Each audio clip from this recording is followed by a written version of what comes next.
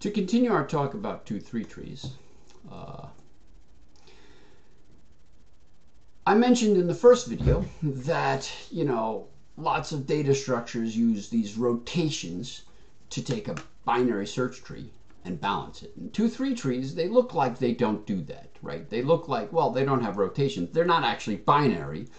On the other hand, if you think about the comparisons that you do, like if I want to, to look for a node, if I want to look for the search for an 11, you know, like first I compare against 5 in this case, then I compare against 10, and maybe I compare against 20, and after comparing against both of those, I got down to this middle child of 11. And, uh, you know, the comparisons, of course, you're still comparing one value against another one at a time. Those are binary comparisons, right? There's sort of a natural binary comparison of two values. So, and I say as well, even though we don't have to think about rotations when we do a binary, when we do a 2-3 tree, there sort of really is kind of an underlying binary tree. So I can take this 2-3 tree on the left and imagine that it is a binary tree on the right, where this sort of big weird looking node, well, it still looks like a binary tree, right? If I want to if I want to search for a value, or in this case, okay, I want to insert an 18, how do I do that? Well, from my 2-3 tree view, I go 18 is bigger than 5, move to the right child. Well, the same thing happens in the binary view. Then I go, well, 18 is bigger than 10. 18 is bigger than 10 over here too. 18 is less than 20. Those are two comparisons that take place within the 2-3 tree view of things. Two, two comparisons in one node. But of course, we could imagine that that's just a, that 2-3 node, that node with two keys, is sort of implemented by two little binary nodes, right? Hey, if you're smaller than the 10, go to the left child. If you're smaller than the 20, but larger, if you're bigger than the 10, go to the 20. And if you're smaller than 20, go to the middle child. And if you're bigger than 20, go to the right child. So in this case, we have an 18.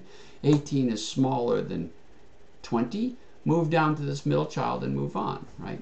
And I've only sort of blown up this one single node, but we could imagine every node with more than one key really has an underlying binary key structure within it. Okay? So what happens? Hey, I want to insert that 18.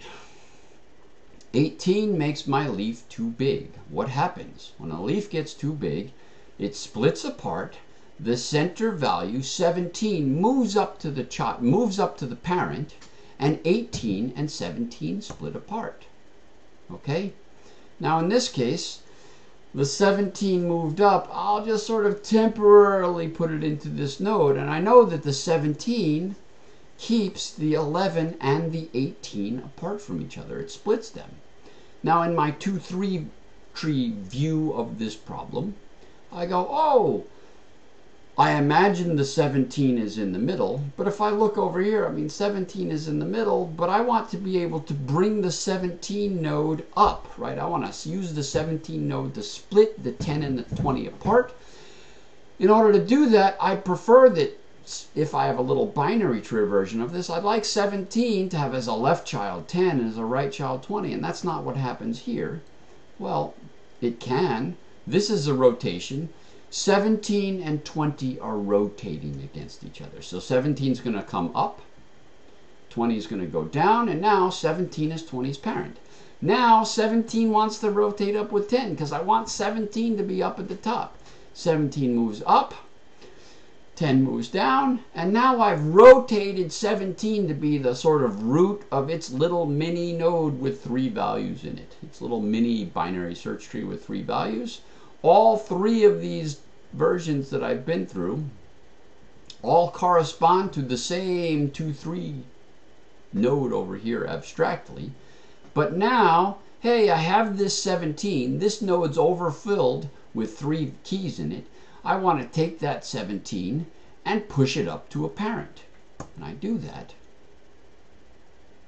And now this parent, well, the parent now has more than one key. There we go. We can see the binary representation of this of this tree all the way through it, right? And we've now inserted 18. Now, just to give you sort of a, a bullseye view on what the rotation is doing, if I want to rotate y up to be x's parent, note, in this case, subtree A has a bunch, or node A or subtree A, whatever A is, has a bunch of values less than x, and it's hanging to it's it's hanging to x's left. A is still hanging to x's left. B is hanging to y's left. What does that mean? It means B has values larger than x and less than y. After the rotation, I mean, after the rotation, x is going to be y's left child. So B, there's no room for B anymore, right?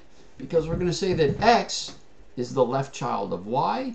What happens to B? Well, if B is larger than X and smaller than Y, then B is also smaller than Y, but larger than X.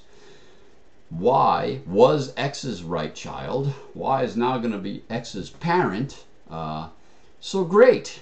There's room in X's right child for this node B, right? So we do that. And then in this case, Z had two children, Z, uh, C and D. Well, they're still hanging off C, no problem. So we had C is, you know, X's right child goes away. Y's parent goes away, right? We move Y up. We move X down. When Y moves up and X becomes its left child, B is now going to hang off of off of x. Wow, that looks terrible. I'm just going to pretend it's not there. But we have this nice relation, right? Values in A are less than x, and that's less than values in B, which are less than y, and that's less than values in C and less than D. And that relation holds for both of these trees, and so the rotation is going to work out just fine.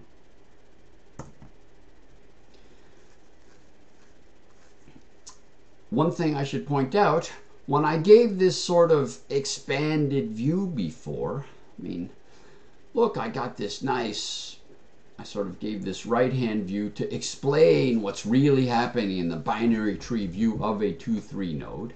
You know, great, I've got 10 and 20, I've got 15 and 17. In this case, 10 and 20 are supposed to be one 2-3 tree node. 0 and 5 are 1, 2, 3 tree node. 15 and 17 are 1, 2, 3 tree node. But of course, if you now take that and draw all the children rent links to be the same length, you know, I mean, like this 10 link is really long for its left subchild and its, its right link's really short.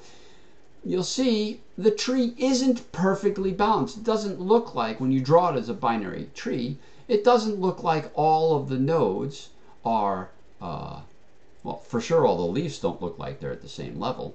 So what happens here? Well, the right hand of the side of the tree is actually skewed to be a little bit deeper than the left hand side of the tree. Because, well, I have only one link to go to my left child, and I have two links to go to my middle child or my right child. So what happens is you're going to have sort of this, you know, slightly different depths for your left your child, you might get the right side of the tree is twice as deep as the left child of the tree. But even if you have a tree that's unbalanced, you know, some leaves are twice as deep as the other leaves, that's still going to give you a balanced tree. Twice as deep doesn't sound good, but it's still logarithmic, right? Okay, that's the intuition for the binary view of the 2-3 tree.